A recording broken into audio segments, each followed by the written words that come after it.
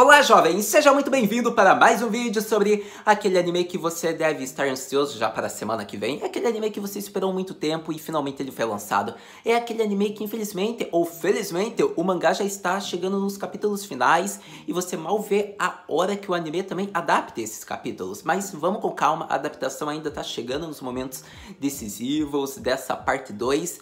Então vamos falar hoje sobre Shingeki no Kyojin, episódio de número 51, mais conhecido como A Tropa de Porque pra estar tá na muralha Maria e com o risco de não voltar vivo, não tem outro termo melhor do que suicidas. Mas para todo caso, foi um episódio legal, eu gostei bastante de ver meio que a questão psicológica do Erwin, querendo ou não, ele assume, digamos que o que ele fez, consideremos erros ou acertos, ele sabe tudo o que ele fez, as mortes que já foram causadas, então essa questão psicológica do Erwin, eu achei legal dele ter mostrado o episódio, ter colocado. Também vemos que o Armin ainda está preocupado. A gente também viu o Ryder. Será que ele vai ainda continuar vivo depois desse ataque, desse final, digamos que inacreditável? Ou eu diria que um final que você quer o próximo episódio? Então já gera aquela emoção, aquela hype para a próxima semana mas vamos ver se ele vai continuar vivo. Para todo caso, você vai entender vendo o vídeo até o final, eu vou falar o que eu gostei, o que eu achei desse episódio. E daí, vamos se empolgar, já comenta aí nos comentários o que você está achando do episódio. Você acha que o Ryder conseguiu ficar vivo? Você acha que ele vai sobreviver? Ou você acha que foi já o fim do Titã blindado? Me diga nos comentários isso, compartilhe o vídeo caso você goste. Se inscreva no canal se é seu primeiro vídeo, porque isso ajuda o canal a crescer. E eu vou ficar muito contente. Então se inscreve aí, ajuda o canal, compartilha com um amiguinho, com uma amiguinha, com a irmã, com o irmão, que isso vai ajudar e eu vou ficar feliz. Para todo caso, se você já é inscrito e está vendo o vídeo, muito obrigado por estar vendo, por estar comentando, por estar dando like, por compartilhar. Agora vamos falar de Shingeki no Kyojin, episódio de número 51. Então, foi um episódio curto, embora tenha sido o tempo normal dele, só que não teve muita informação, então eu não vou enrolar vocês. O que eu vou falar nessa primeira parte, eu diria, foi o Erwin. Eu acho que o Erwin ele já é inteligente, nem tenho que ressaltar isso, mas o que a gente pode falar é que o plano dele de usar o Eren de isca foi bom, foi inteligente, porque não tinha outra solução se a gente for pensar. Imagina, coloca o Eren de isca agora como ele fez, e daí o Eren atrai a atenção do Reiner. Era um plano inteligente, porque assim ele vai tirar o foco dos cavalos, e o Reiner notou isso. Só que era o único meio, querendo ou não, o Eren é a parte fundamental no momento, seja para a humanidade, seja para os titãs, a, o, digamos que a habilidade que ele tem, as coordenadas, acho que é assim que se chama que ele controla os outros titãs. Então é o único meio de atrair a atenção do Ryder. Ele se transformando em titã e ele, digamos, indo para o outro lado, porque já gerava dúvida. Ué, mas ele vai sair da muralha? Ele pode fugir na forma de titã? Então ele já estava pensando, já estava tendo um raciocínio bem alto nesse meio tempo. E o plano de usar era só pelos cavalos também, porque assim os cavalos estando vivos, eles têm uma chance de fugir caso algo aconteça. Então vemos que assim o Ryder é atraído, ele vai, luta com o Eren. A luta eu nem vou ficar narrando porque não tem sentido narrar a luta de dois titãs. Então você que viu, você se empolgou. A animação foi boa? Foi boa. Eu diria que Shingeki no Kyojin só teve uma cena em específico que foi a cena do Ryder correndo, que eu achei que foi digamos que meio mal animada, mas ao longo de tudo a animação se manteve boa, assim, seja a cena da Mikasa, seja eles usando o dispositivo de locomoção, então nesse ponto Shingeki manteve a animação boa que é de qualidade nesse episódio.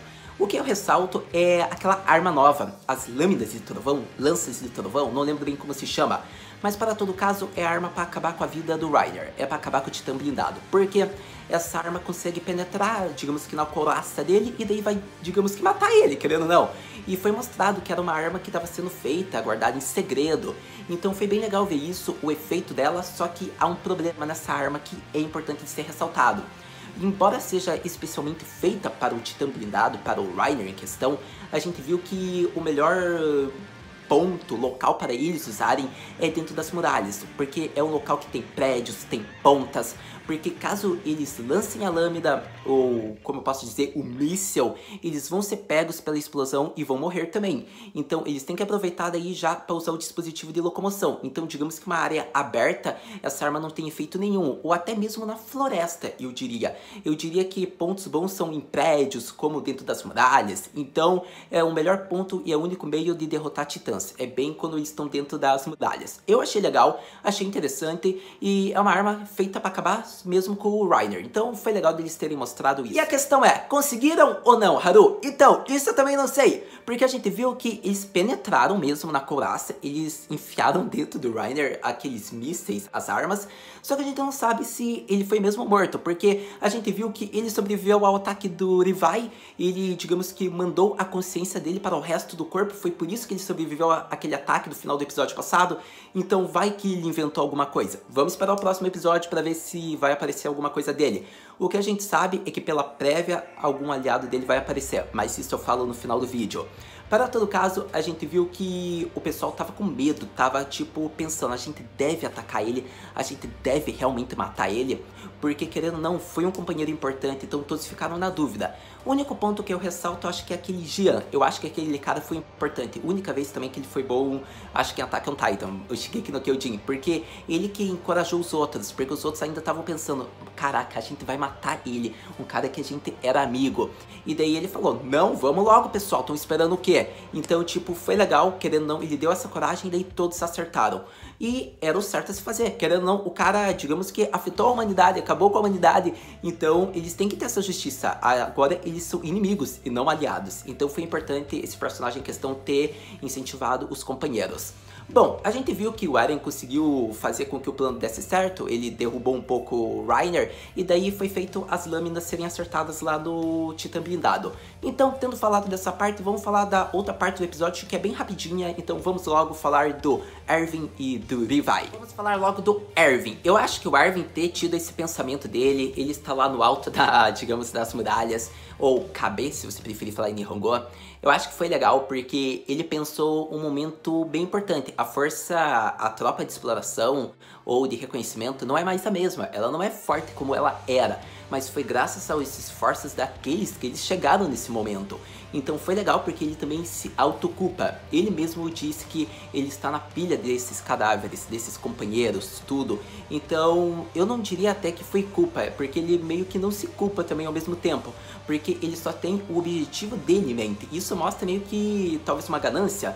Eu acredito que eu não estou errado até em dizer isso, porque a gente viu a verdadeira natureza ali dele. Por mais que ele encoraje os outros, os companheiros, ele mesmo falou que ele está fazendo isso pelos desejos dele. Então, digamos que não é um alto sentimento de culpa aí, né? Mas a gente viu que ele mostra a vontade e o desejo dele, mas ele encoraja os companheiros ao mesmo tempo. Mesmo que alguns morram, ele ainda dá força para os outros atacarem. Então foi legal ver essa natureza dele, esse psicológico, o que, que ele está pensando. Então foi importante o episódio ter colocado esse pensamento dele, porque acima de tudo, ele quer ir naquele porão, ele quer ver o que ele tanto deseja. Então isso mostrou a verdadeira natureza dele, se for preciso, ele faz isso sozinho mesmo que todos morram. Então foi interessante essa parte do Erwin. Para todo caso, a gente vai falar agora do finalzinho ali, que na verdade não foi o final do episódio, mas eu ainda não comentei. Que foi o Levi. Eu acho que ver o Erwin falando... Levi, tá olhando para aquele titã grandão lá? Ele é teu, você tem que acabar com ele. E o Levi só fala... Bom, eu não dei conta do blindado naquele ataque, então pode deixar comigo mesmo. Porque, tipo, vai ser... Sério, eu acho que Olha, é bem difícil de falar como é que vai ser essa luta, porque, tipo, eu acho que vai ser a luta da temporada. Vai ser provavelmente episódio de número 5, episódio de número 6. Eu espero que eles não deixem para os últimos episódios, eu já quero ver essa luta logo. Promete ser uma das melhores lutas. Eu acho que o Levi aí vai dar um coro aí no, no como é o nome? Do Bestial. Eu acho isso até mate, ou talvez deixe ele com vida. Vamos esperar para ver daí o que acontece. Era isso, meus queridos jovens e minhas queridas senhoritas, que eu tinha para falar sobre Attack on Titan Shingeki no Kyojin, episódio de número 51. Foi um episódio que eu diria que foi bom, eu gostei, acho que manteve o clima do episódio passado, então eu já tô feliz com essa parte 2 de Shingeki. Não é um anime que eu vou dizer, caraca, eu amo esse anime, mas é um anime que eu gosto e achei que ficou legal esse episódio. Para todo caso, a gente viu que teve cenas engraçadas no episódio, e é por isso que eu gosto de Shingeki, quando eles colocam um episódio com ação, informação e ainda uma ceninha de comédia, a obra fica perfeita. Tipo, ver a cena do Rivai falando ah, finalmente você vai falar. Eu já poderia ter tomado café da manhã enquanto você ainda pensava. Tipo, como não rir? Tipo, a personalidade do Levi é muito boa, então eu gostei.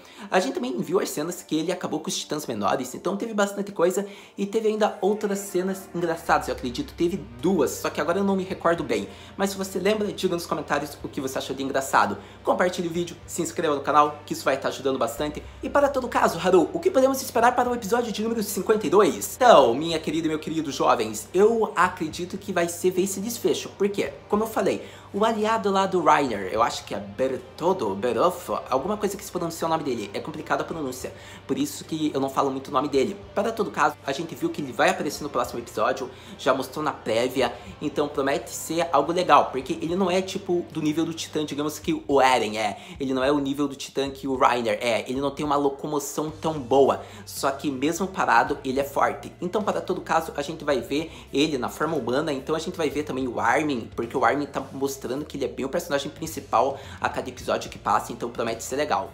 Para todo caso, é aguardar o próximo episódio e daí a gente conversa. Então, era isso que eu queria falar. Acho que foi muito bom. Eu acho que teve comédia, teve informação, teve ação. Então foi legal ver o Eren, tipo, congelando as mãos dele. Ele já dominou essa técnica. Então teve bastante coisa, mas agora... Então agora é esperar o próximo episódio e daí a gente conversa se foi bom, se foi ruim, se teve coisa legal, informação. Então, obrigado por ter visto esse vídeo até agora. A gente se vê no próximo vídeo. Mata, né?